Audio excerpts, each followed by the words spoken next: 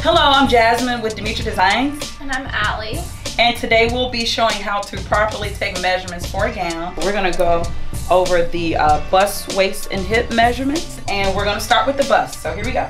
And normally I have my brides hold their hands out, hold their hands out like that. So we're gonna go straight across the back. And make sure it's not slacking like that in the back, but straight across.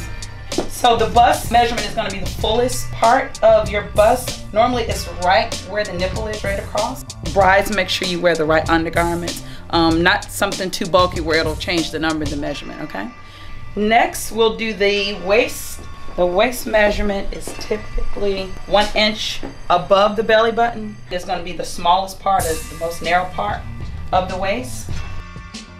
Make sure it's not too tight.